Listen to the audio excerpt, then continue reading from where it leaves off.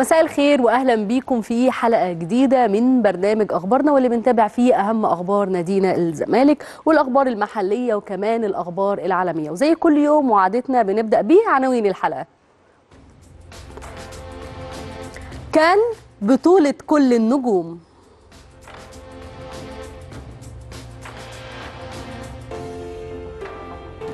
كأس الرابطة فرصة جديدة.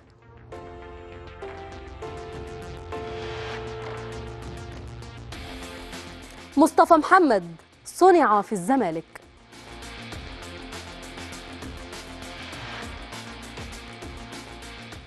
أحمد الهواري في ضيافة أخبارنا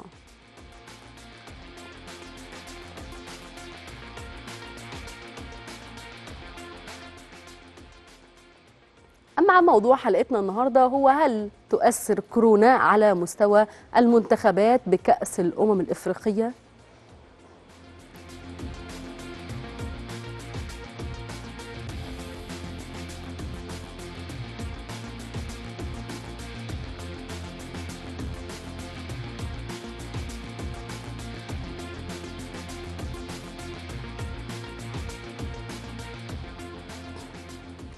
مساء الخير على جماهيرنا الحبيبة في كل مكان. حلقة جديدة من برنامجكم أخبارنا. حلقة السبت حلقة بداية الأسبوع.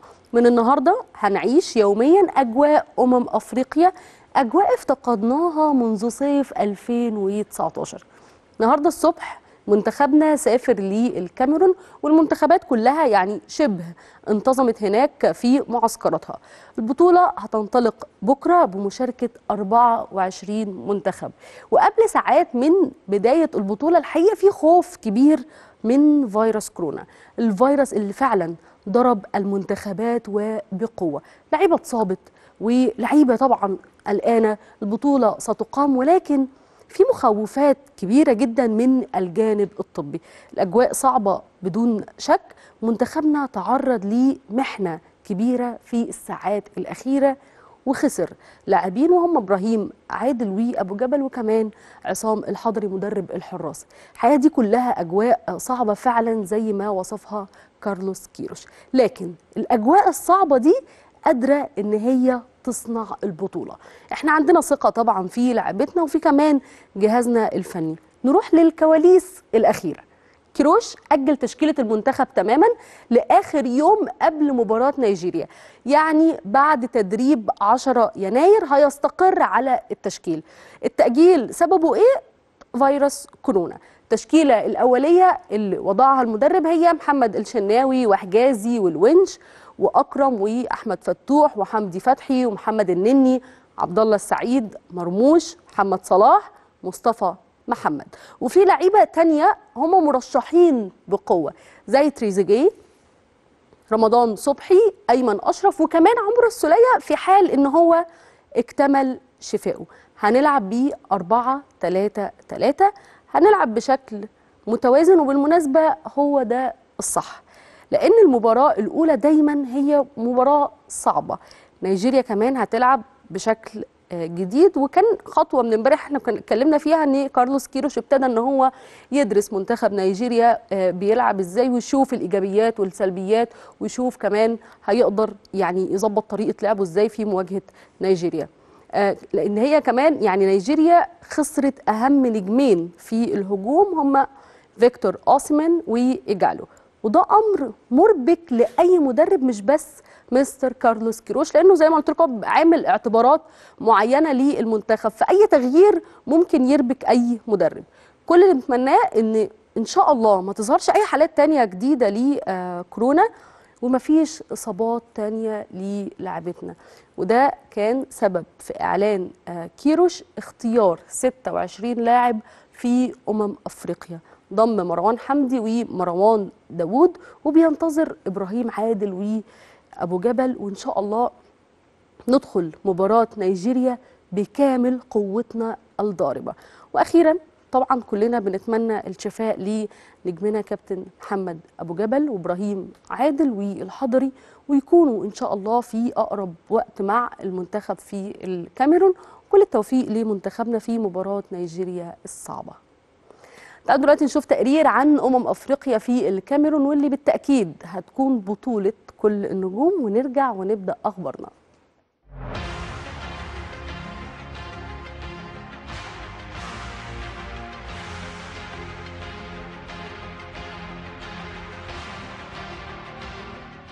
أمم إفريقيا بطولة كل النجوم في الكاميرون. صراع قوي يدور ليس فقط بين المنتخبات بل يجمع نجوم القارة السمراء المحترفين في كبرى أندية أوروبا في بطولة أمم إفريقيا تتجه الأنظار صوب نجمنا الكبير محمد صلاح قائد الفراعنة وهداف ليفربول وأحد أفضل ثلاث لاعبين في العالم وأغلى لاعبي البطولة كمان 100 مليون يورو وصلاح مرشح لكل الجوائز الأفضل والهداف. ومعاه نجوم آخرين وأسماء مرعبة. هناك ساديو ماني قائد السنغال ونجم ليفربول وأفضل لاعبي إفريقيا في 2019 وهناك رياض محرز نجم نجوم الجزائر ونجمها الأول ولاعب مانشستر سيتي الإنجليزي. لاعب آخر سبق له الفوز بالكرة الذهبية ولقب الأفضل في إفريقيا وأمل المحاربين في التتويج. ويظهر يوسف النصيري هداف المغرب الكبير ونجم إشبيلية الأسباني. وجه آخر اكتسب خبرات كبيرة في الفترة الأخيرة في الدوري الإسباني. وتعتمد تونس على نجمها الصاعد بسرعة الصاروخ حنبعل المجبري المحترف في مانشستر يونايتد الإنجليزي. وتخوض كوتيفوار البطولة وهي تراهن على اسم كبير جدا في أوروبا. هداف دوري أبطال أوروبا الأول سيباستيان هالر مهاجم أياكس الهولندي. ويقود نيجيريا نجم آخر كبير جدا. هو كليتشي هداف ليستر سيتي الإنجليزي. وفي الكاميرون الكل ينتظر النجم المخضرم فينسنت أبو بكر هداف النصر السعودي. وفي غانا. يقود أندري أيو قائد البلاك ستارز أحلام بلاده في الحصول على الكأس الخامسة. وغيرهم من كبار النجوم ينتظرهم الجميع في أمم إفريقيا بحثا عن كتابة المجد.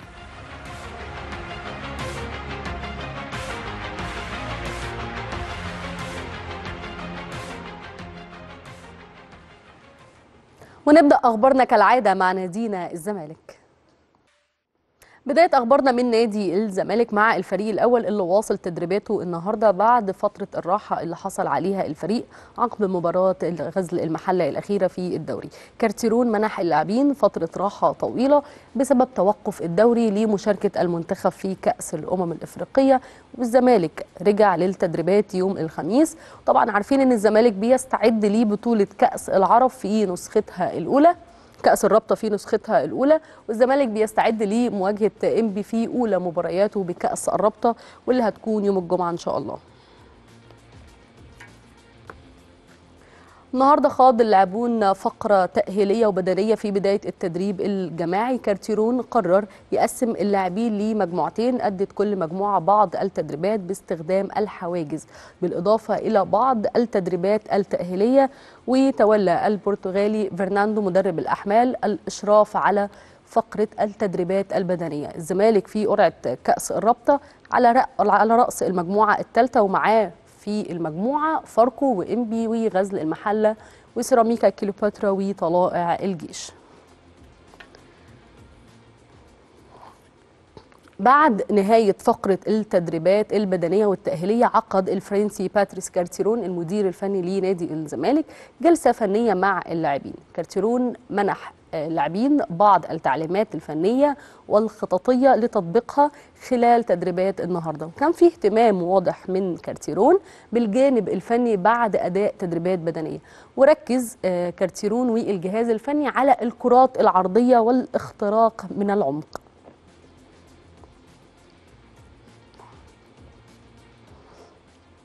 النهارده انتظم إسلام جابر لاعب الفريق في التدريبات الجماعية في إطار استعدادات الزمالك لبطولة كأس الرابطة. امبارح الجهاز الطبي بالاتفاق مع الجهاز الفني منح اللاعب اللاعب راحة من تدريبات بسبب معاناته من نزلة برد وتماثل للشفاء وقدر النهارده إن هو يشارك في التدريبات بصورة طبيعية. مستمرين مع أخبار نادي الزمالك وواصل عمر السعيد مهاجم الفريق البرنامج التأهيلي الموضوع ليه من قبل الجهاز الفني. حصل الكابتن محمود عبد الرزاق شيكابالا قائد الفريق على راحة من تدريبات النهارده السبت. بسبب اصابه بسبب إصابته بنزلة برد. الجهاز الفني للفريق منح شيكابالا راحة من تدريب امبارح بعدما تعرض اللاعب للإصابة بنزلة برد واستمر غيابه النهارده. وفي تواصل مستمر مع الجهاز الطبي برئاسة الدكتور محمد أسامة لمتابعة حالة شيكابالا. طبعا عارفين إن الزمالك بيستعد للمشاركة في بطولة كأس الرابطة في نسختها الأولى. تعالوا دلوقتي نطلع نشوف تقرير عن مشاركة الزمالك في كأس الرابطة في النسخة الأولى ونرجع ونكمل أخبارنا.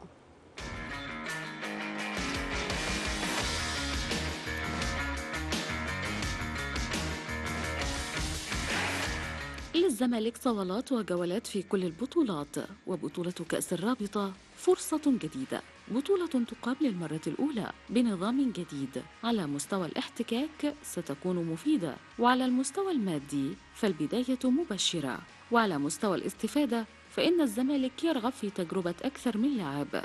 مباريات كأس الرابطة ستكون فرصة لأيمن حفني لمحمود شيكابالا قائد الفريق لمجموعة الناشئين لكل من غاب عن المشاركة في الجولات الثمانية الأولى من الدوري. في غياب العديد من اللاعبين المميزين يبحث الزمالك عن انطلاقة جيدة في بطولة جديدة. الفارس الأبيض يفتقد لخدمات محمد أبو جبل وأحمد فتوح ومحمود حمد الونش ومحمود علاء وإمام عاشور وأحمد سيد زيزو. إلى جانب المثلوثي والجزيري. ثمانية لاعبين من القوام الأساسي للفريق انضموا لمعسكري المنتخب المصري والتونسي للمشاركة في كأس الأمم. وفي الزمالك ورغم الغيابات فإن الفارس يمتلك البدائل. كتيبة من اللاعبين تستطيع أن تحقق أحلام الجماهير في بطولة جديدة ليكون السبق للزمالك. كما هو الحال دائما جمهور الزمالك يحلم برؤية عبد الشافي وشيكابالا وأيمن حفني وطارق حامد وفي حراسة المرمى محمد عواد. عناصر الخبرة في الزمالك تمنح الفريق الأفضلية. في بطولة تحلم الجماهير أن تكون زملكاوية.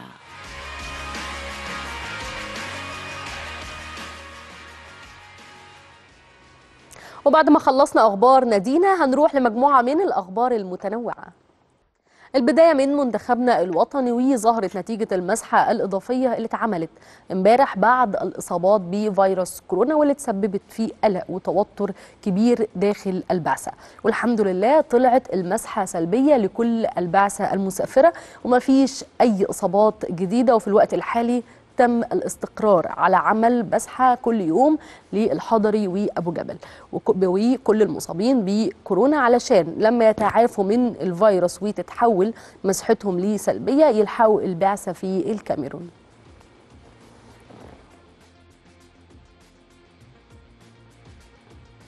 ولسه مع منتخبنا الوطني واللي سافرت البعثة صباح اليوم متجهة إلى مدينة جوارة الكاميرونية على متن طائرة خاصة وصلت من دقائق بعثة منتخبنا وعملوا مسحة طبية بعد الوصول مباشرة وبعد كده هيتجهوا لمقر الإقامة وهيبدأ الفريق تدريباته من بكرة الحد استعدادا لمباراة نيجيريا واللي هتقام يوم الثلاث اللي جاي الساعة 6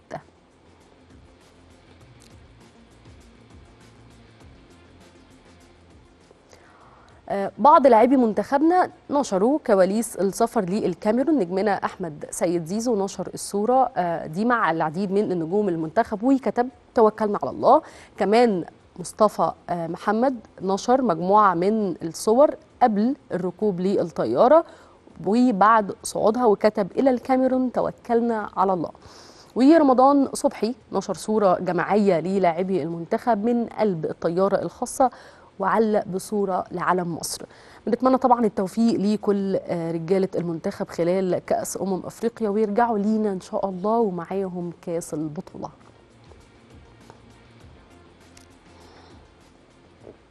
معالي السفير مدحت المليجي سفير مصر في الكاميرون أكد إن كل شيء جاهز لاستقبال بعثة منتخب مصر تمهيدا للمشاركة في كأس الأمم الأفريقية وأكد السفير إنه في إجراءات مشددة في الكاميرون لمواجهة تفشي فيروس كورونا وإن لحد دلوقتي ما فيش أي حالة تم الإعلان عنها يعني مصابة بالمتحور الجديد داخل الكاميرون وأكيد بنتمنى السلامة للجميع خصوصا منتخبنا الوطني.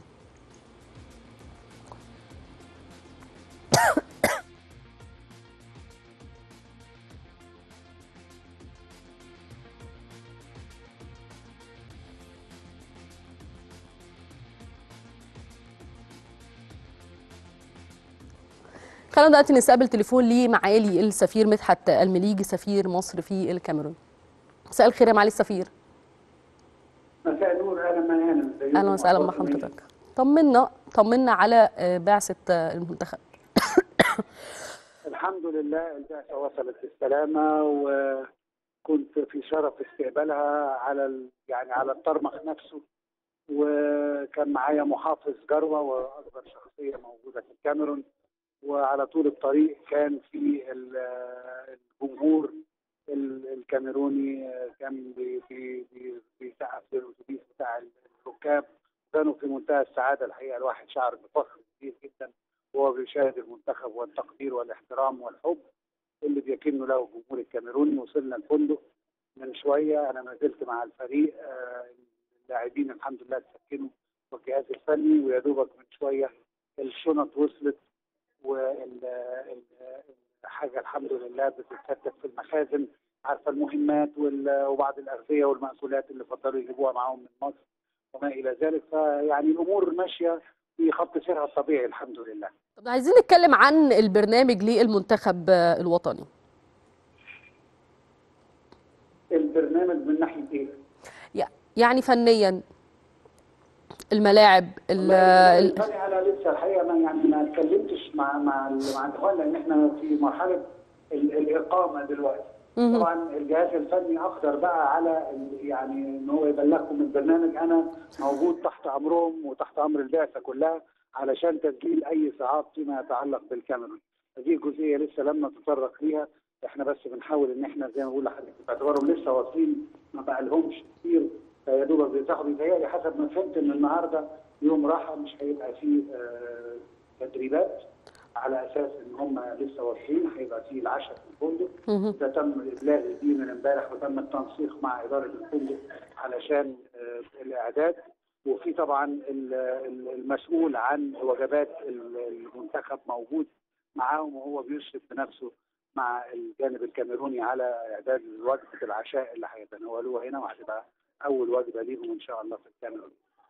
حتى غدا صباحا مفيش أي نشاط مختلف عن الوضع العادي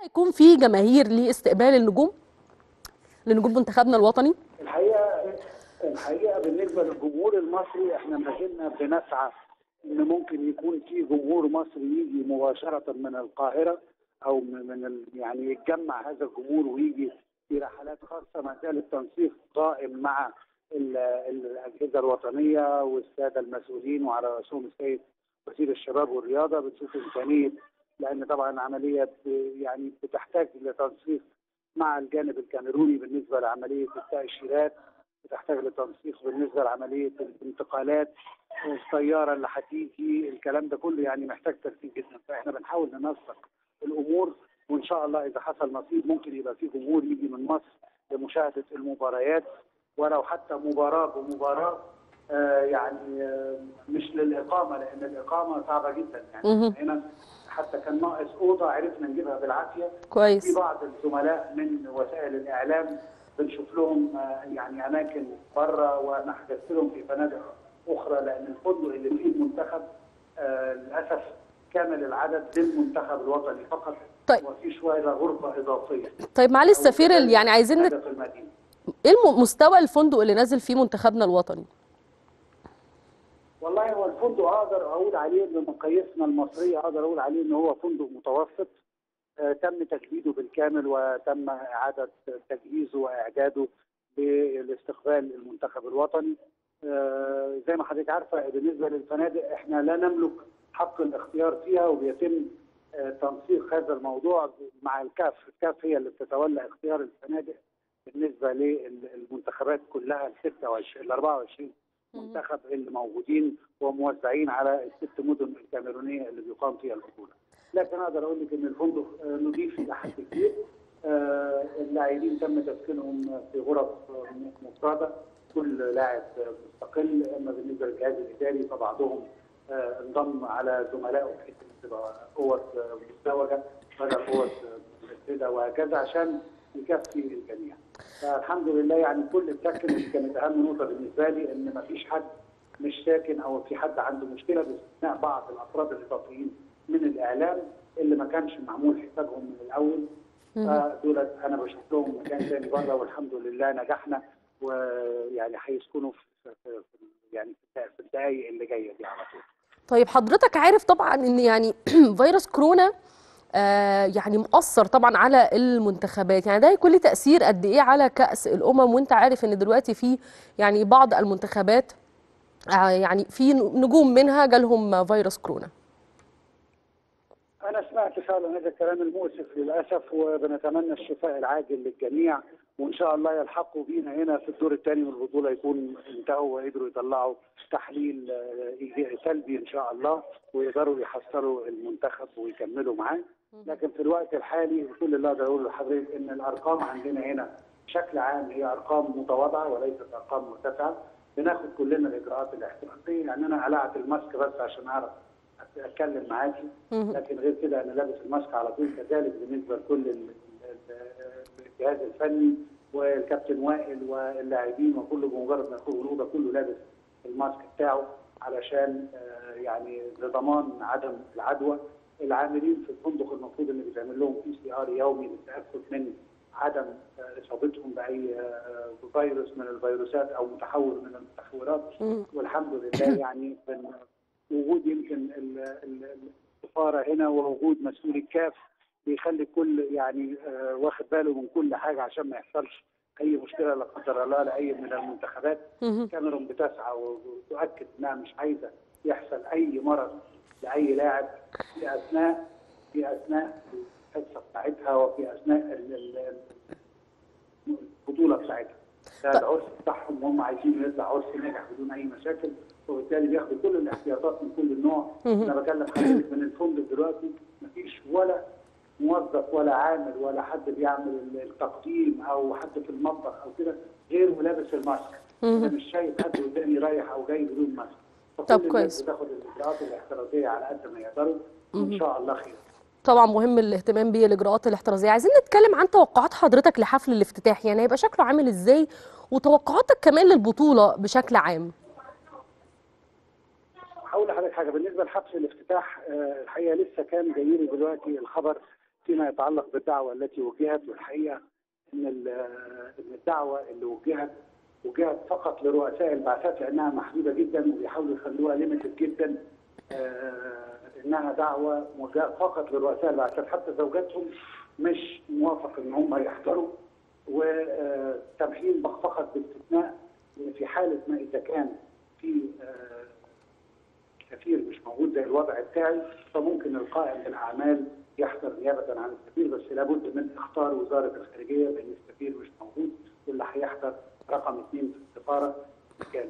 فده بالنسبة لحفل الافتتاح. بالنسبة للفقرات اللي فيه الحقيقة أنا ما أقدرش أقول لحضرتك لأن طبعا ما تابعتش هذا الموضوع كان تركيزي كله مع منتخبنا. وبالتالي ما ركزتش مع الجانب الكاميروني هيعمل إيه بالظبط لكن هم هيحاولوا يجتهدوا. انت عارفة طبعا الأفارقة مشهورين بالرقصات الفولكلوريه وال- والأغاني ذات الطابع الأفريقي وما إلى ذلك. أنا بتصور إن هم هيعملوا حاجة بهذا الشكل. وبعض الاستعراضات في الملعب الرئيسي خاصة وإن من المنتظر إن يحضر حفل الافتتاح رئيس الجمهورية ويمكن عشان كده في تضييق على احتياطات الأمن فيما يتعلق بحضور الجمهور تمام وفلسطين زي ما بقول لحضرتك الدعوة يا دوبك امبارح بس لأن لغاية آخر دقيقة تمام. بيتم بالتنسيق ما بين الخارجية وما بين تمام. الكاف عشان التذاكر كلها الكاف هو المسؤول عنها بشكرك جدا معالي السفير مدحت المليجي سفير مصر في الكاميرون. بشكر حضرتك جدا على آه، وجودك معانا. تعالوا دلوقتي نطلع نشوف تقرير عن آه، مصطفى محمد نجمنا اللي كلنا منتظرين تألقه بشكل كبير مع المنتخب في الكاميرون.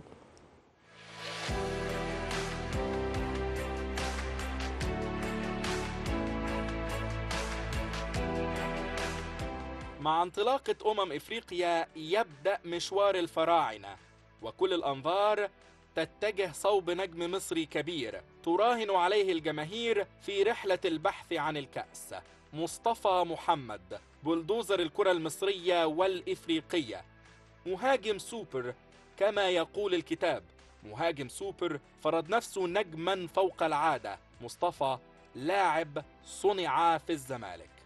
رأس حربة نموذجي المهاجم الأول في مصر خلال آخر عامين. لمع مصطفى مع الزمالك في عام 2019 بعدما عاد للأبيض بعد إعارة دامت ثلاث سنوات. عاد ليصبح المهاجم الأول تحت قيادة كل المدربين الأجانب ميتشو وكارتيرون وباتشيكو وحقق في أول مواسمه مع الفريق ثلاثة ألقاب كأس مصر وكأس سوبر إفريقيا وكأس سوبر مصر. ثم ساهم في الموسم الثاني برحلة التتويج بطلا للدوري الممتاز وسجل أكثر من عشرين هدفا في كل البطولات وخطفته عيون نادي جلطة سراي التركي ليضمه معارا مقابل مليوني دولار ثم يعلن شراءه رسميا مقابل أربعة ملايين دولار. مصطفى محمد لعب دور البطولة المطلقة في فوز منتخبنا الأولمبي بأمم إفريقيا تحت 23 عاما وسجل خمسة أهداف وتوج هدافا وكذلك أصبح المهاجم الأول للمنتخب في عام 2021 وسجل الأهداف وساهم في تأهله لأمم إفريقيا وكذلك الدور الثالث لتصفيات كأس العالم. واليوم يقود مصطفى محمد هجوم المنتخب في أصعب البطولات وأشرسها بطولة أمم إفريقيا 2022 في الكاميرون وبثقة كبيرة في المدرب كارلوس كيروش. وثقة أكبر من الجماهير المصرية التي تراهن عليه في الهجوم. والكل في انتظار أهداف مصطفى محمد المميزة.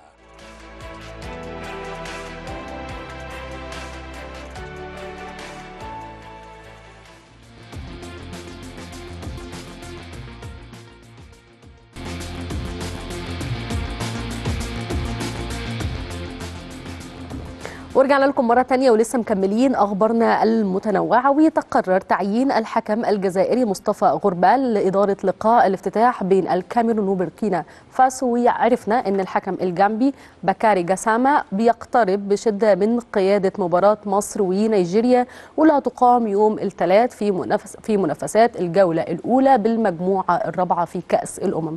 طبعا إحنا عارفين إن الكاف قرر تطبيق تقنية حكم الفيديو المساعد الفي ار أو الفار في كل مباريات كأس الأمم الإفريقية.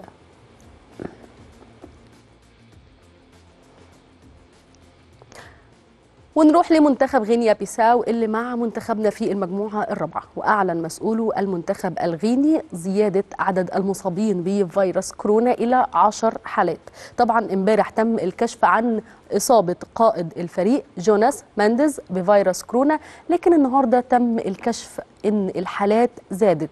وفيها العديد من اللاعبين والإداريين بالإضافة لحارس المرمى وكابتن الفريق جوناس مينديز آه وبما إن كأس الأمم الإفريقية على الأبواب قررنا إننا نتكلم عن المنتخبات الكبيرة اللي إحنا شايفينها إن هي مرشحة للقب وهنتكلم النهارده عن صراع المجموعة الثالثة بين المغرب وغانا. تعالوا مع بعض نشوف التقرير ده ونرجع ونستكمل أخبارنا.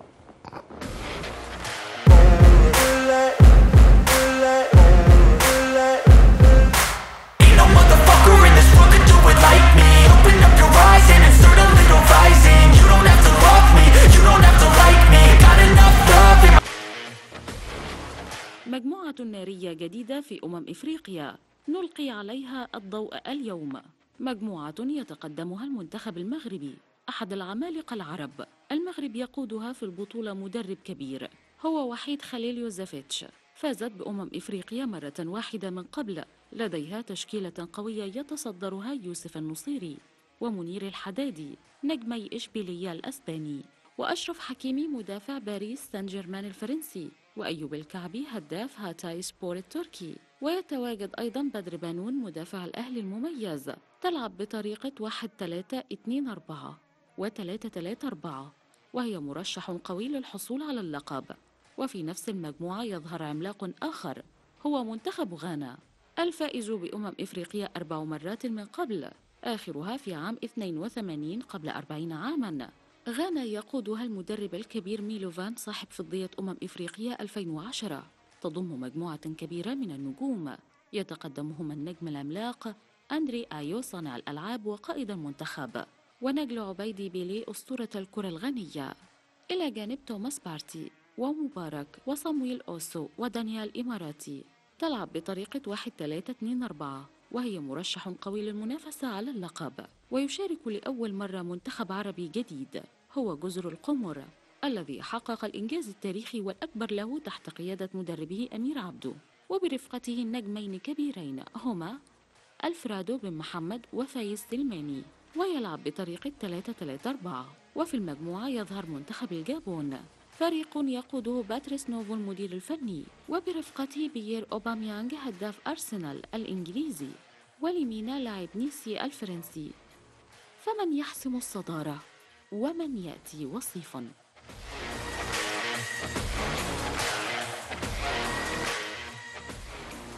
ونروح لمنتخب نيجيريا وتصريحات آيك شورو حارس مرمى ومدرب نيجيريا السابق واللي أكد على حزنه الشديد بسبب غياب إيجالو عن منتخب نيجيريا في كأس أمم أفريقيا. طبعا فريق الشاب الشباب السعودي رفض انضمام مهاجم الفريق للمنتخب النيجيري وده تسبب في حالة من الغضب لكل مسؤولي ونجوم منتخب نيجيريا.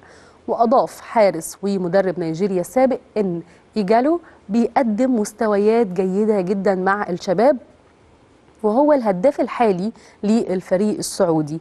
وغيابه عن نيجيريا خسارة كبيرة جدا للفريق لأنه كان هيقدم شيء مختلف في البطولة.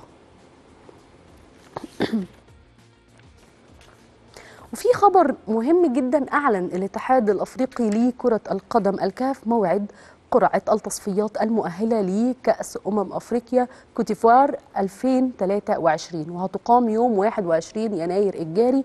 أما الموعد اللي كلنا منتظرينه هو يوم السبت 22 يناير وده هتقام فيه آه، الدور النهائي قرعة الدور النهائي من التصفيات الأفريقية المؤهلة لكأس العالم. ومنتخبنا حاليا في التصنيف الثاني بين المنتخبات المتأهلة للمرحلة النهائية. وهنواجه منتخب من تونس الجزائر المغرب نيجيريا السنغال والقرعة الخاصة بكأس الأمم وتصفيات كأس العالم هيقاموا في مدينة دوالا الكاميرونية. تعالوا دلوقتي نطلع فاصل قصير ونرجع نستقبل ضيفنا الناقد الرياضي أحمد الهواري.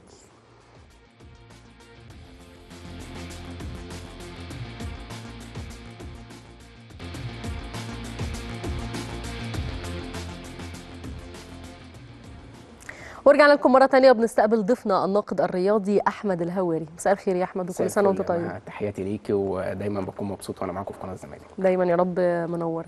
آه، من شوية كان معانا سيادة السفير وطمنا الحمد لله إن بعثة المنتخب الحمد لله وصلت آه، بالسلامة. لكن آه، أنت شايف إزاي فكرة إن في فيروس كورونا انتشر وعندنا كابتن آه، أبو جبل وكابتن عصام الحضري وده ممكن يأثر قد إيه على آه، منتخبنا الوطني.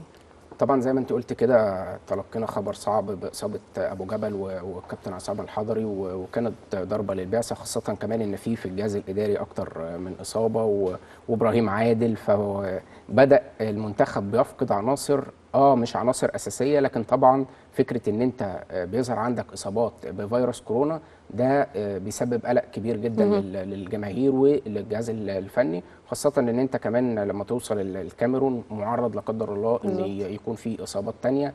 فطبعا هي الفكرة دلوقتي مش زي البطولات اللي قبل كده كنا بنقول المنتخب الأجهز فنيا المنتخب اللي, هتبقى رجله في الماء لا هو المنتخب اللي هيقدر يتفادى إصابات كورونا. مهم. هو المنتخب اللي هيقدر يكمل. هو المنتخب اللي هيكون في المنافسة. هو المنتخب اللي هيقدر إن هو يحافظ على حظوظه في الوصول لأبعد دور. آه، إصابات كورونا آه، لو لا قدر الله آه، عن- آه، يعني عناصر أساسية تعرضوا ليها مش بتكلم طبعا عن منتخب مصر أنا بتكلم بشكل عام. هو ده اللي هيكون آه، الضربة الحقيقية للمنتخب اللي هيتعرض لإصابات كورونا لأن أنت وقتها هتفقد آه، عناصرك المهمة على ما يتعافى ويرجع من الكورونا هتاخد وقت فأنت آه، ما بقتش دلوقتي تبقى آه، إصابة عضلية فهتبقى عارف هو راجع إمتى هتقدر تلعب بيه إمتى موجود معاك إمتى فهي قصة الكورونا هي شوية اللي هتكون آه، بعيد بقى عن الجانب الفني هي اللي هتكون متحكمة قوي في العناصر أو المنتخبات اللي هي تقدر توصل للأدوار المتقدمة وتوصل لنهائي البطولة. طيب شايف إن آه، كارتيرون متمسك جدا بابو جبل وما طلبش آه، بديل. شايف ده إزاي؟ آه كارلوس كيروش هو من الأول واخد أربع كارلوس كيروش عفوا مش كارلوس بتلخبط دايما ما بينهم مش عارفة كيروش ليه عشان كارتيرون وكيروش آه كارلوس كيروش هو من الأول واخد أربع حراس لأنه كان عارف إن هو ممكن في أي وقت يتعرض أي حارس منهم لإصابة آه بطولة كبيرة آه ممكن إصابات كورونا. فالراجل كان من بداية عامل حذر آه، أو واخد باله من قصة آه، الكورونا. وده اللي مخليني شوية مستغرب في حتة إن هو من الأول ما خدش 28 لاعب. يعني أنت ليه ليه يعني استنيت للآخر وبعدين طب آه، ضميت مروان داوود ومروان حمدي؟ طب ما أنا من الأول عندي الفرصة وعندي الأوبشن إن أنا أضم الثلاث لعيبة اللي أنا اللي أنا مختارهم. ليه استنيت لما أشوف مروان حمدي محمد حمدي باك آه، شمال بيراميدز يتعرض لإصابة مع بيراميدز إبراهيم عادل يتعرض لكورونا لأنه مش موجود في معسكر المنتخب فأبدأ آه، أشوف مين العناصر البديلة. طب ما أنا من البداية كنت آخد 28 لاعب معايا وفي المعسكر أنا قافل عليهم شايف اللعيبة فنيا عاملة إزاي بدنيا عاملة إزاي محافظ عليهم من كورونا لكن آه، زي ما بنقول كده مش عايزين نبكي على اللبن المسكوب خلاص المنتخب وصل الحمد لله. الإصابات مش مقلقة بالنسبة لل- للمنتخب خاصة إن الحمد لله بنتكلم العناصر الأساسية أو العناصر المهمة. طبعا كل البعثة آه، مهمة بالنسبة لينا لكن بنتكلم فنيا في الملعب. متواجد معاك عناصرك ال- الأساسية. فهي بقى الفكرة إن أنت تحافظ في اللي جاي. تاخد بالك جدا اللعيبة يبقى عندهم حذر في التعامل مع أي حاجة لأن أنت طبعا في الكاميرون آه مش من الدول اللي متفشي فيها آه، فيروس كورونا. لكن لازم تبقى واخد بالك جدا خاصة إن هتلاقي جماهير بتقابلك في الفندق بتقابلك في الملعب. معرض إن أنت أي لاعب عندك يلتقط ال- الفيروس لا قدر الله. فهي بقى مهمة اللعيبة كمان إن هم يحافظوا على نفسهم بجانب الجهاز الطبي إن هو يكون موعي اللعيبة بشكل كبير. إن أنت تاخد بالك من أو تتجنب فكرة إن أنت آه، لا قدر الله تتصاب بفيروس كورونا. هي دي فعلا مخاوفات كارلوس كيروش من كورونا. عشان كده يعني أجل حاجات كتير ليه كمان أجل التشكيلة بتاعته ليه قبل الم- الماتش بيوم شايف إزاي استعداداته لأمم أفريقيا وشايف إن إحنا ما لعبناش آه، مباريات ودية. ده ممكن يأثر علينا ولا لأ؟ لأن برضو ممكن كان يلعب فعلا وديات يعني ويحصل إصابات.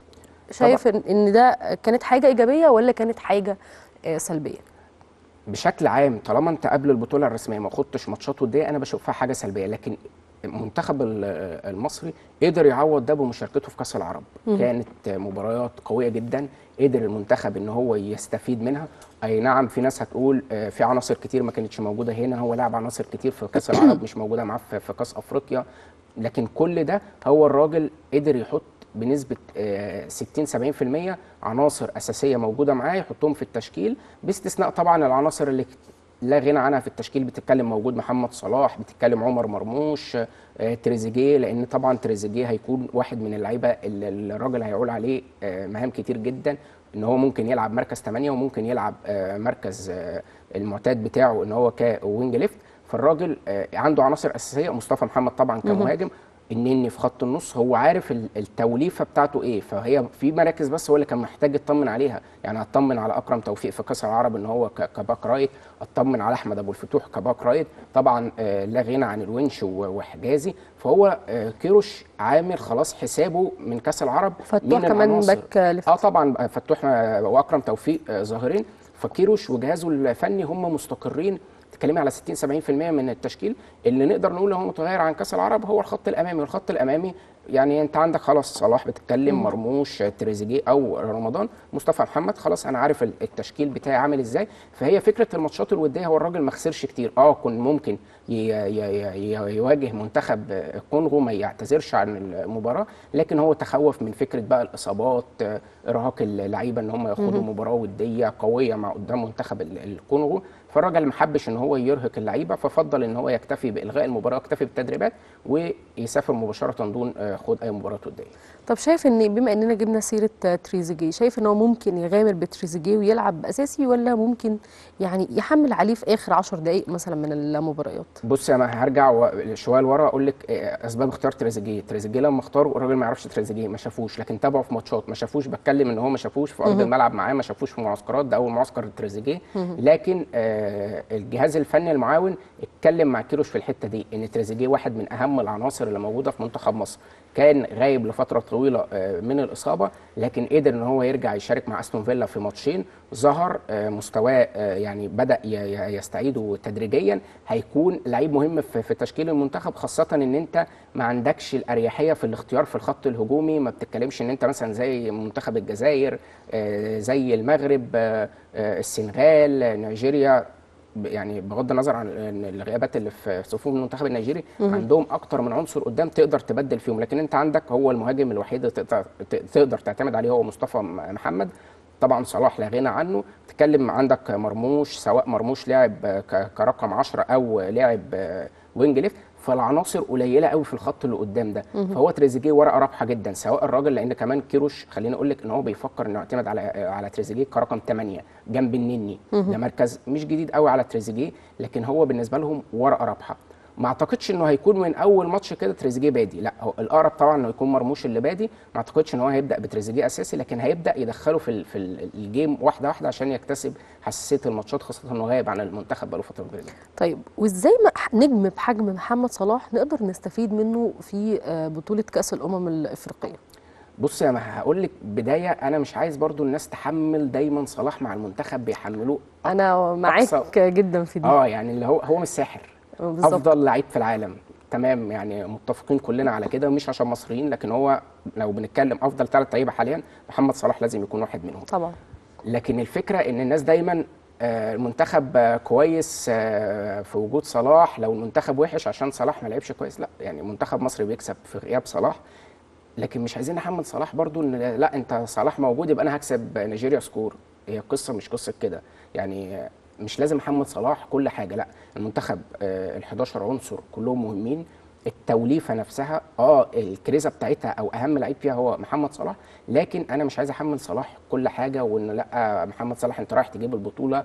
أنا منتخب محمد صلاح لما لو لو نرجع بالزمن كده لما كان موجود كوبر وكان طريقة اللعب بتعتمد على صلاح ومرتدات منتخب مصر وسرعة صلاح كنا بنقول منتخب صلاح ودي حاجة سلبية. فدلوقتي الناس برضو بتيجي تقول فين صلاح؟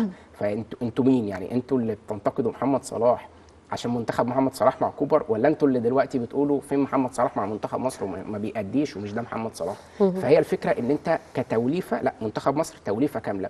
آه أهمها محمد صلاح لكن موجود عناصر تانية. محمد صلاح حتى لو مش هو اللي بيسجل هو بيخدم على لعيبة تانية بيفتح لهم أماكن في في الملعب يقدروا إن هم يسجلوا أهداف. مين أفضل دويت جنب محمد صلاح؟ بص أنا شايف إن أنت بتتكلم هيكون مرموش آه، ناحية الشمال وصلاح وعبد الله السعيد. أعتقد هم دول الثلاثه اللي ممكن كيروش هيكون مستقر. وطبعا قدامهم آه، آه، ال- الوحيد يعني آه، مصطفى محمد لأن هو رقم واحد في في مركز رأس الحربة. فهو ده ال- الرباعي اللي بتتكلم فيه في خط ال- الهجوم. لو الراجل فضل إن هو مثلا آه، يسحب آه، عبد الله ويخلي حد defender ثالث زي مثلا بنتكلم النني وحمدي فتحي والسولية. دي برضو تفكير في, في, في دماغ كيروش والجهاز الفني خاصة إن أنت عندك ماتش نيجيريا ماتش صعب واصعب ماتشات ال- المجموعة. على الورق بنتكلم لو بصينا للمجموعة بتتكلم إن مصر ونيجيريا هي المنتخبين اللي هيطلعوا أول وتاني. مين أول مين تاني مش هتفرق لكن هم دول الاثنين المرشحين من المجموعة مع كامل الاحترام طبعا للسودان وغينيا الاستوائية. لو هنرتب المدافعين تحب نبدأ بمين ومين يبقى موجود بديل؟ بص هي الحتة دي آه، آه، ثنائي الدفاع ده محجوزة باسم الونش وحجازي. ما, ما, ما فيش حد يقدر يخش شوية. آه طبعا محمود علاء واحد من أهم المدافعين في مصر هيكون موجود لكن مش هيكون موجود طبعا بشكل أساسي لا قدر الله تحت أي ظرف إصابات إيقافات هيكون أعتقد هو الثالث في الحتة ديت. لكن آه، بنتكلم واحد واثنين هم حجازي وأيمن أشرف خاصة إن الثنائي بقى لهم فترة كبيرة بيشاركوا مع منتخب مصر جنب بعض فمنسجمين فاهمين بعض.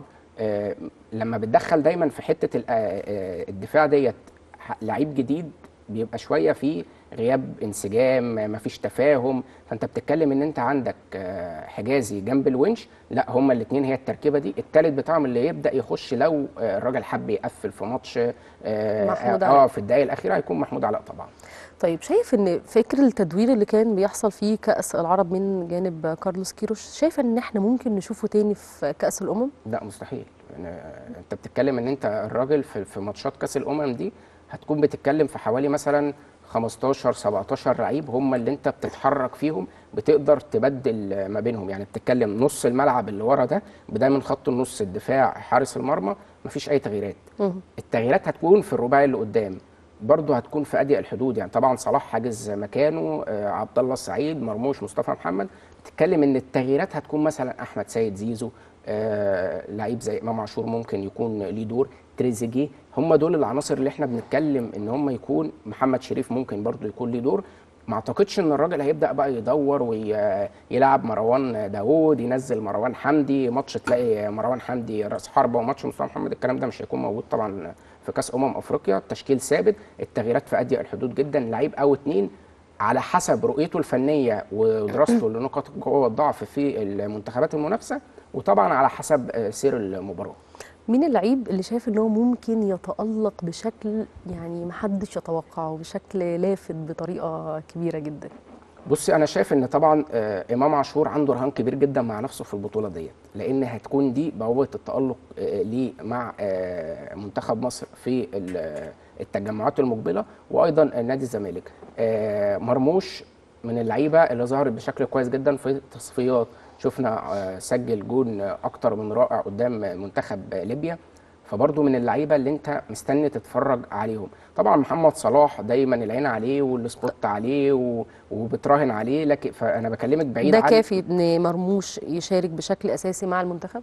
أعتقد إن هو مرموش آه، الراجل مقتنع بيه جدا. رقم واحد بالنسبة له في في, في حتة سواء آه، صانع اللعب مكان عبد الله السعيد أو ك- ك- ك wing left أعتقد الراجل مقتنع بيه مباراتين كافيين.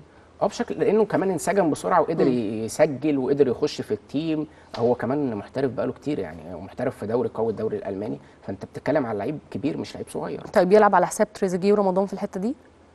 في التوقيت الحالي على حساب تريزيجيه عشان تريزيجيه راجع من اصابه. لكن بتتكلمي لو تريزيجيه بدأ يدخل في الجيم وقدر إن هو ينسجم ويستعيد مستواه مع المنتخب أعتقد تريزيجيه ممكن يكون المنافس القوي على الحتة دي. رمضان هيكون ليه دور بس ما أعتقدش إنه هيكون ليه دور كبير جدا يعني دقائق معدودة. لمعلومات مع من معلوماتك أنت بقى رمضان تصنيفه إيه عند مستر كاردوس كيروش؟ طبعا الأولوية حاليا هو رقم واحد بالنسبة له في, في ناحية الشمال دي عمر مرموش. تريزيجيه مستواه اللي هيحدد ترتيبه. بيجي طبعا بعد مرموش رمضان صبحي. فكرة تريزيجيه هتبان أو ترتيب تريزيجيه هيبان وفقا للأداء في الملعب للمستوى. هيشوف تريزيجيه لما يديله شوية 10 دقائق ربع ساعة نص ساعة يبدأ يحكم على مستوى تريزيجيه. رجع من الإصابة قدر يستعيد مستواه بسرعة فيبدأ إن هو يعتمد عليه سواء بقى آه، بشكل أساسي أو آه، كوقت أطول آه، ويديله شوط كامل يكون موجود أساسي. فهي دي اللي هتبان من خلال تواجد تريزيجيه في الملعب في الماتش. طيب توقعاتك إيه للبطولة بقى نفسها؟ شايف مين ال- المنتخبات اللي بتنافس على البطولة بقوة؟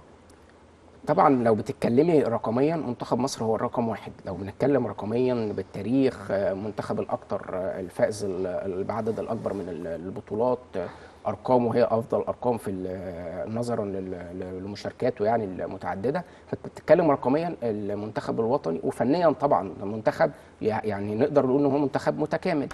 من المنتخبات اللي أنا شايف أو برشحها طبعا إن هي تكون مع منتخب مصر منافسة بشكل كبير جدا منتخب الجزائر. منتخب الجزائر فريق جوه الملعب فريق مرعب مكتمل الصفوف. مغرب آه، تونس السنغال آه يعني أنا دايما بشوف الجزائر هي المرشح آه، رقم واحد. منتخب السنغال منتخب قوي جدا جدا جدا. تونس والمغرب. الكاميرون طبعا بحكم إن هو صاحب ال- الأرض والجمهور والمنتخب من المنظم طبعا الكاميرون. آه طبعا من المنتخبات المرشحة. أنت بتتكلم إن الأربع منتخبات دول ممكن يجي معاهم منتخب المغرب. هي دي المنتخبات اللي تقدر تقول إن هي أقرب لحصد اللقب. نتمنى طبعا يكون منتخب مصر في النهائي ويحصد اللقب. طيب بما إننا جبنا سيرة منتخب الجزائر وإحنا يعني هو بطل كأس العرب يعني شايف إيه اسباب تألق منتخب الجزائر؟ بصي هما حاجتين. فكرة إن أنت عندك عدد كبير جدا من المحترفين دي بتميزك ومش أي محترفين أنت عندك من أفضل المحترفين في أوروبا ويمكن منتخب الجزائر من المنتخبات اللي لو جيت بصيت لعناصرها هي من أكتر المنتخبات اللي عنده لعيبة محترفة. فأنت بتتكلم إن أنت عندك قاعدة كبيرة من اللعيبه المحترفين بجانب كمان إن أنت عندك جهاز فني مستقر عندك انسجام كمال بالماضي موجود من من قبل ال- الكان اللي فاتت. بطل آه، كأس أفريقيا اللي فات فأنت بطل كأس العرب آه مش مش جمال بالماضي اللي كان موجود ومجيد بكره هو اللي كان آه، متواجد كمدير فني لكن أنت عندك استقرار فني بشكل عام وعندهم فرقتين بالظبط لكن لما تيجي أنت تتكلم على السنتين اللي فاتوا أنت كان عندك أجيري مشي أجيري جبت حسام البدري مش حسام لا، البدري هما فرقتين على كيروش. مستوى. فأنت. عندك في عدم. انسجام شوية في في في, كلعيبة في الملعب نظرا لتغير خطط اللعب وطرق التدريب مع المديرين الفنيين تعاقب المديرين الفنيين ده شوية بيأثر على اللعيبة. فأنت بتتكلم إن أنت الحاجات دي تأثر عليك مقارنة بمنتخب الجزائر اللي هو مستقر بتتكلم ثلاث سنين فاتوا الجهاز الفني هو الجهاز الفني عارف نقاط القوة والضعف بتاعته فشغال بقاله فترة كبيرة جدا قدر إن هو ياخد كأس العرب ومن قبله كان كأس أفريقيا فطبعا مرشح طبعا واللعيبة عندها خبرات يعني آه لعيبة منتخب الجزائر. آه طبعا بتتكلم إن أنت لو جيت قارنت بتشكيل منتخب الجزائر في كأس العرب كان هم اتنين لعيبة بس اللي ممكن تقول إن هم هيكونوا بادئين في كأس أفريقيا. فأنت بتتكلم إن فعلا هو فريقين مش فريق واحد. ومن أبرز المرشحين مع منتخب مصر هو منتخب الجزائر ما فيش شك في كده والرئيس بول طبعاً حارس مرمى آه، طبعاً. منتخب الجزائر وهو كمان حارس. كبير وشفناه في ماتشات كتير أثر مع منتخب الجزائر في كأس العرب وكان نقطة تحول لأداء منتخب الجزائر ونجح إن هو بتصدياته يكون واحد من اللعيبة اللي قدروا إن هم ي... ورياض محرز آه طبعا في ما كانش موجود طبعا في كأس العرب وغياب المحترفين لكن انت بتتكلم ان انت عندك ما شاء الله منتخب الجزائر آه، مليان نجوم. آه، ما يختلفش كتير عن منتخب مصر اللي اعتقد ان هم هيكونوا منتخبين من المنتخبات اللي موجودين في المربع الذهبي. آه، مربع الذهبي. مين بقى تتوقع فيه؟ والله طبعاً رقم يعني واحد. أعتقد إن منتخب مصر ومنتخب الجزائر هما الاثنين هيكونوا موجودين في قبل النهائي. ما, ما, ما فيش خلاف. زي ما قلت لك منتخب الكاميرون ممكن يكون من المنتخبات ال- ال- اللي موجودة ك semi final بنتكلم في السنغال منتخب قوي جدا آه، بقيادة ساديو ماني.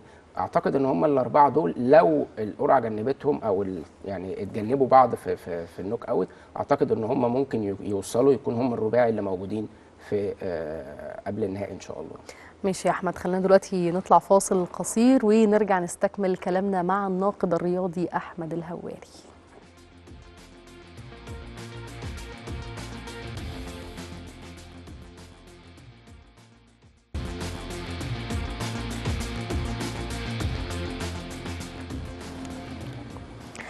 ورجعنا لكم مرة تانية ولسه مكملين كلامنا مع ضيفنا الناقد الرياضي أحمد الهواري. آه عايزة أتكلم معاك بقى عن كأس الرابطة وشايف إن هي بطولة بجد ولا هي مجرد دورة ودية؟ خليني طبعا أتكلم معاكي عن كأس الرابطة تحديدا عايز أتكلم عن رابطة الأندية وشفنا آه، الموسم ده حاجات كتير مختلفة سواء بنتكلم على البث آه، تنظيم المباريات آه، آه، حاجات كتير جدا إيجابية افتقدناها ال- المواسم اللي فاتت فدخلنا في كأس الرابطة لأن أنت كان لازم إن أنت تواكب ال ال الاحتراف في الدوريات الأوروبية كان لازم يبقى عندك كأس رابطة. فكرة إن أنت آه، الدوري والكاس هم دول البطولتين اللي أنت شغال لا موجود كأس الرابطة وهي بطولة مهمة جدا. بدليل جوائزها المادية بدليل آه، تركيز الأندية عليها أكتر من نادي عامل معسكرات. يعني عندك كابتن طارق العشري في في طلائع الجيش عامل معسكر واخد اللعيبة إسماعيلية مركز جدا فالأندية كلها مركزة. هي مش فكرة إن أنا بطولة هلعب فيها ماتشات خلال التوقف آه، بطولة ودية. لا هي مش بطولة ودية. الكل مركز خاصة إن أنت فرصة كبيرة جدا إن أنت كأندية آه، في الوسط آه، بعيد طبعا عن نادي الزمالك بعيد عن الأهلي بعيد عن البيراميدز. بتتكلم الأندية اللي تحت وأندية منتصف الجدول عندهم طموحات كبيرة إن أنا البطولة ديت ليه ما أنافسش عليها ليه ما أبقاش موجود ليه ما أحاولش إن أنا أوصل قبل نهائي ونهائي في البطولة. فانت هي بطولة بالنسبة لك مهمة جدا كنادي بشكل عام وبطولة مهمة إن أنت تقدر إن أنت تستعد من خلالها لعودة الدوري وكمان في نفس الوقت تبقى منافس قوي وتقدر تنسجم كفريق من خلال البطولة دي فترجع الدوري قادر إن أنت تحاول الفريق بقى اللي عايز يحسن مركزه الفريق اللي بينافس آه، على الدخول للمربع الذهبي. فهي بعيد جدا عن يعني مش هتكلم دلوقتي عن نادي الزمالك آه، والأهلي وبيراميدز. بتتكلم الفرق اللي بعد كده كلها تركيزها كبير جدا في البطولة دي. لو هتكلم على نادي الزمالك فهي فرصة كبيرة جدا. كارتيرون واللعيبة عايزين يحققوا آه، اللقب. عندهم رغبة إن هم يفوزوا بأول نسخة لأن طبعا هي دايما النسخة الأولى من البطولة بتكون تاريخية. آه زي كأس مصر آه، فأنت بتتكلم إن أنت آه لما تبقى أول بطل متوج بكأس الرابطة تاريخيا كمان هي حاجة آه، ليها قيمتها كمان آه، إن أنت دايما لما يتقال أول فريق توج بلقب كأس مصر أول فريق توج بكأس الرابطة فهي تاريخيا هي آه، يعني حاجة آه، تضيف لتاريخك بشكل كبير جدا. في نفس الوقت انت فنيا كارتيرون مركز فيها جدا. شفنا مصعد عدد كبير جدا من من, الناشئين. اللاعبين الناشئين. آه، عندك ماجد هاني عندك آه، حمدي علاء عن- عندك حسام عبد المجيد كان اتصعد قبل كده ولعب على فترات آه، الموسم اللي فات. فانت عندك لعيبة كتير جدا تقدر إن أنت عندك سيف فاروق جعفر تقدر يظهروا بقى ال- ال- ال- الماتشات بتاعة كأس الرابطة. بعيد كمان عن اللعيبة ال- الأساسية. لو بنتكلم عن اللعيبة الأساسية فحدث ولا حرج. عندك لعيبة كتير. عودة شيكابالا من الايقاف مع الزمالك هتكون هي يعني محور أداء الزمالك الفترة الجاية. إزاي نستفيد من كابتن بحجم شيكابالا في كأس الرابطة؟ معاه كمان رزاق سيسي. طب هو تحدي للاثنين بتتكلم وخاصة كمان شيكابالا. شيكابالا مع عودته من ال- الايقاف متشوق جدا لل- للمشاركة في المباريات واستعادة مستواه وهي بمثابة كأس الرابطة بمثابة إعداد لشيكابالا إن هو يكون آه، يستعيد مستواه بشكل كبير وميزة شيكابالا إن هو بيرجع بسرعة. يعني لو غاب أو في توقف أو أو الزمالك ما بيشاركش لأ اما بيرجع شيكابالا بيرجع بسرعة جدا في الماتشات بينسجم بسرعة بيأثر آه، بال- بالإيجاب بشكل كبير في أداء الفريق. ودايما فردياته بتكسب الزمالك. يعني لو ماتش في أسوأ الظروف الزمالك آه، آه، مش قادر يسجل شيكابالا في ثانية بتلاقي يا إما through يا إما جون يا إما تسديدة. خلاص شيكابالا دايما هو محور أداء الزمالك حتى طبعا. لو هو لعب 10 دقائق بيكون من أهم اللعيبة في ال- في الملعب. فهو تحدي لشيكابالا هي بمثابة آه، إعداد لشيكابالا لباقي الموسم. نفس الأمر لرزاق سيسي. رزاق ما لحقش ينسجم قوي أو يدخل في ال team قوي لأن هو ماتشين ما ت- ما كمان كجمهور وككارتيرون ما قدرناش نحكم عليه. لكن في الدورة آه، أو في كأس الرابطة دي أنت هتقدر تحكم على رزاق لأن هيبدأ عنده فرصة إن هو يكون مشارك آه، كلعيب أساسي عندك غيابات فممكن هو يخش آه، يقدر يحجز مكانه في في التشكيل الأساسي. لعيب كمان عايز أتكلم عليها مها أشرف بن شرقي. من اللعيبة اللي هو لازم يستغل البطولة دي. كأس الرابطة دي تحدي لأشرف بن شرقي إن هو يستعيد مستواه آه شفناه الماتشين اللي فاتوا ظهر بشكل كويس جدا لكن عنده كتير كتير جدا جدا جدا. فهم دول الثلاث لعيبة اللي انت بتتكلم ان انت تراهن عليهم في ماتشات كاس الرابطه طيب عايز أسألك على حاجة. آه، محمود شبانة مدة اعارته قد إيه للاتحاد السكندري؟ آه، هو حتى نهاية الموسم هي كانت في محاولات كمان إن يرجع محمد عبد السلام لكن آه، أستاذ محمد مصلحي وكابتن حسام حسن تمسكوا إن آه، محمد عبد السلام يكون موجود. وإدارة نادي الزمالك ما منعتش في كده رغم محاولاتها إن هي تستعيد اللاعب نظرا لأزمة القيد. فأنت العناصر مش متوفرة قوي ولا قادر إن أنت حتى في فترة الانتقالات الحالية تتعاقد مع لاعبين. فأنت آه، كنت بتحاول تجيب أو ترجع محمد عبد السلام لكن خلاص هو الأمر. مع محمود شبانة متواجد مع نادي الاتحاد السكندري لنهاية الموسم. هتبدأ تستعيد كمان عناصرك اللي تمت اعارتها آه، بنهاية الموسم. ده كمان هيفرق مع team الزمالك في ال- في الموسم الجديد. طيب برايك إيه المراكز اللي محتاج كارتيرون إن هو يدعمها الفترة الجاية بشباب؟ خاصة إن كاس الرابطه هتبقى فرصة كبيرة جدا ليهم إن كمان كارتيرون يتعرف عليهم أكتر ويعرف كمان إيه هي المراكز اللي هو محتاج فعلا يدعمها. من وجهة نظرك إيه المراكز فعلا اللي كارتيرون محتاج إن هو يدعمها باللاعبين الناشئين أو الشباب؟ بص بتتكلمي إن أنت لازم يكون عندك آه، back right يطلع من القطاع تقدر تستغله وتشتغل عليه إن أنت تهيئه إن هو يكون بديل ثالث مع المسلوسي ومع آه، حازم إمام خاصة إن أنت كمان عمر كمال عشان أزمة القيد ما قدرتش تستفيد منه. فأنت كظهير أيمن لازم تطلع حد من القطاع. عندك اللعيبه كويسة جدا تقدر تعتمد عليهم حمدي علاء آه لعيب مميز جدا ماجد هاني يعني المتابعين في القطاع والمدربين. كلهم بيشيدوا بقدراته الثنائي. ناس كتير بتشيد بحمدي علاء فعلا بالظبط. في حتة خط النص دي الاثنين دول تقدر تعتمد عليهم تهيئهم إن هم يكونوا موجودين مع التيم في ماتشات الدوري. مش تستغلهم بس إن هم يشاركوا تبدأ تجهزهم في في, في كأس الرابطة وما تشاركهمش في الدوري. لا يبدأ يكون لهم دور. حتى لو ماتشات خلاص أنت حسمتها ادي لكل لعيب فيهم 10 دقائق ربع ساعة تبدأ تدخله تخليه إن هو يحس بنفسه وياخد الثقة من المشاركة مع اللعيبة الكبار في ماتشات زي الدوري لأن طبعا الدوري يختلف كتير عن كأس الرابطة. أنت تشكيلك الأساسي موجود ماتشات رسمية آه، مفيش مجال إن أنت تفقد أي نقاط. فأنت بتتكلم إن أنت آه، خط النص وال back right دي المراكز الأكتر آه، إن أنت محتاج إن أنت تركز على الناشئين فيها. وطبعا بتتكلم صانع اللعب المهاجم برضو لو أنت تقدر من القطاع تت- تتفرج على حد. ودي ميزة كارتيرون يا مها إن هو دايما عينه حلوة على القطاع. ومعاك اتنين مدربين كويسين جدا في الجهاز الفني. عينهم دايما برضو على القطاع كويسة. أمير عزمي مدحت عبد الهادي الاثنين بيقدروا ي- يرشحوا لك عناصر كتير جدا. وكارتيرون مش محتاج ده لأن كارتيرون على طول متواجد في في القطاع بيتا- بيتابع مباريات الناشئين وتدريبات الناشئين. فهو بيقدر يطلع على طول آه، لعيبة يقدر يستفيد منهم. القطاع طبعا مليء بالمواهب مليء بالكنوز. فده اللي محتاج إن الزمالك يستغله في آه، كأس الرابطة. طيب رزاق سيسي آه، ممكن كارتيرون يستفيد منه في مركز راس الحربة؟ وطبعا ده في ظل تواجد أشرف بن شرقي في مركزه بصي رزاق من اللعيبة اللي, اللي مميزة في إن هي تقدر تلعب في أكتر من مركز. آه تقدر تلعبه آه، في مكانه الطبيعي آه ك wing left تقدر تلعبه كمركز رقم 10 من اللعيبة كمان ما ده اللي بقوله لك إن هو آه. هيبقى صعب في ظل تواجد أشرف بن شرقي بس لو قدرت إن أنت في على حسب سير المباراة محتاج تعمل تبديل بين المراكز تدخل بن شرقي هو راس الحربة ترجع رزاق سيسي الاثنين عندهم ميزة إن هم يقدروا يعملوا كده. رزاق شفناه في ماتشات كتير مع نادي الاتحاد السكندري كان آه، بيلعب راس حربة غير إن هو كان متواجد كظهير ك wing left. بيتواجد آه، كراس حربه فانت عندك ميزة إن اللعيبة دي تقدر تلعب هنا وتقدر تلعب هنا. فده بيديك حلول كتير جدا في في الماتشات خاصة الماتشات اللي بتلعبها قدام الفرق اللي بتقفل. فبتبقى الماتشات دايما آه، فكرة تسجيل الأهداف بيكون فيه صعوبة شوية. فبيلجأ كارتيرون إن هو يبدل آه، مراكز اللعيبة عشان يبدأ يخلق حلول ويخلق طرق لعب جديدة يقدر يستفيد بيها أو يقدر من خلالها يسجل أهداف. طيب شايف منافسة نادي الزمالك إزاي في آه، مجموعته في كاس الرابطة؟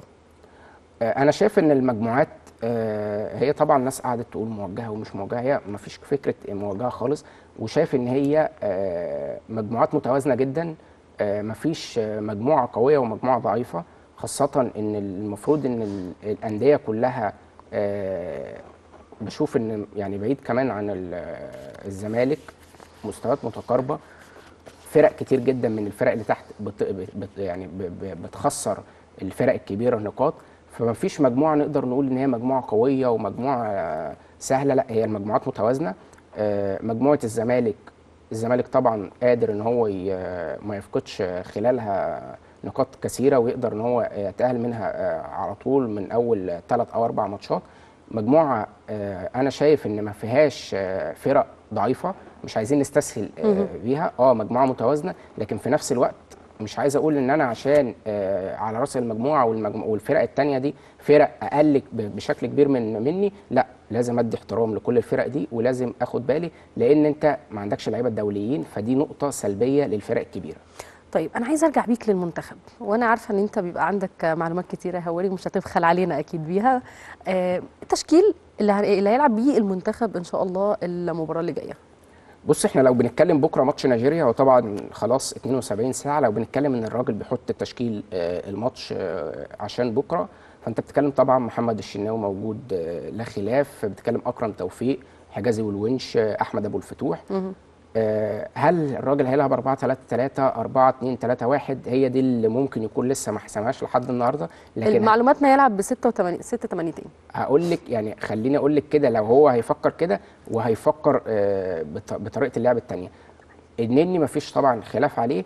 لو السولية جاهز وقدر إن هو يلحق الماتش هيكون طبعا هو الأقرب إن هو يكون موجود آه، جنب النني تتكلم إن أنت قدام آه، عبد الله السعيد آه، صلاح مرموش مصطفى محمد. لو السولية مش مش هو الأجهز ومش موجود طبعا الأقرب إن هو يكون موجود حمدي فتحي جنب النني مع تبديل آه، مراكزهم ومهام اللعب وال- والوظائف لكل لعيب في في الماتش. ممكن نشوف إمام عاشور في المركز ده؟ ممكن بس مش أساسي. مم. يعني أعتقد مش هيغامر بإمام عاشور خاصة إن هو حاطط أولويات بالنسبة له ترتيب إن أنت عندك النني والسولية واحد واثنين بيجي بعدهم حمدي فتحي. امام عاشور هيكون له دور كبير مع منتخب مصر لكن مش آه، بشكل أساسي لا هيكون موجود على فترات خلال اللعب. تتكلم طبعا قدام مصطفى محمد حاجز مكانه. هو ده ال- ال- التشكيل اللي المنتخب ممكن يكون آه، طب بيفكر؟ أو كيروش, بيفكر فيه. زي ما قلت لك تريزيجيه ما أعتقدش إن هو هيغامر بيه في ماتش نيجيريا. مش هتجيبه من الدار للنار ترميه في في ماتش زي ده وتقول له انزل والعب فاهمة؟ هيكون ليه دور كبير جدا في ماتش نيجيريا بس مش أساسي. مش أعتقد أساسي. هياخد في الشوط الثاني عشان يبدأ يجهز للماتشات فتستغله في السودان وغينيا الاستوائي إن هو يكون موجود كأساسي. تمام خلينا دلوقتي نروح لسؤال حلقتنا.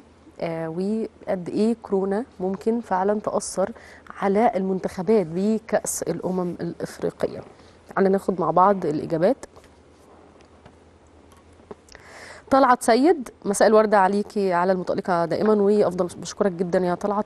أكيد كورونا هتأثر على الفرق المشاركة والشاطر اللي يكون عامل احتياطاته وعنده البدائل وإن شاء الله الكاس لمصر وتحياتي لحضرتك زملكاوي وأفتخر. بشكرك يا طلعت. بعد كده آه، محمد ميدو. مساء الخير عليك يا مها مساء الخير عليك يا محمد. وعلى الناقد الرياضي أحمد الهواري. أكيد طبعا كورونا هتأثر على بطولة كأس الأمم الأفريقية لسرعة انتشار الفيروس في الوقت الحالي. وأتمنى التوفيق لمنتخبنا في الأمم الأفريقية. آه، زملكاوي جميل ومسي على كل اخوات ماشي يا محمد ماشي. عبد الحفيظ السبعاوي بيقول مساء الخير عليك يا مها. لا إن شاء الله آه، مش هتأثر علشان كل المنتخبات عاملة حسابها على كورونا وفي أكيد أكتر من بديل والب- والبلد المنظم أكيد عامل حسابه على إنجاح البطولة وكل التوفيق لمنتخب مصر إن شاء الله. مشاهدينا كده نكون وصلنا لنهاية آه، حلقتنا. كنت سعيدة جدا بوجودك معايا النهاردة يا أحمد. أنا اللي سعيد معاك يا مها ودايما بكون مبسوط وأنا في قناة نادي الزمالك وطبعا بشكرك وبشكر كل التيم. بشكرك جدا يا أحمد بشكرك جدا. مشاهدينا كده نكون وصلنا لنهاية حلقتنا إن شاء الله أشوف حضراتكم الأسبوع الجاي على خير.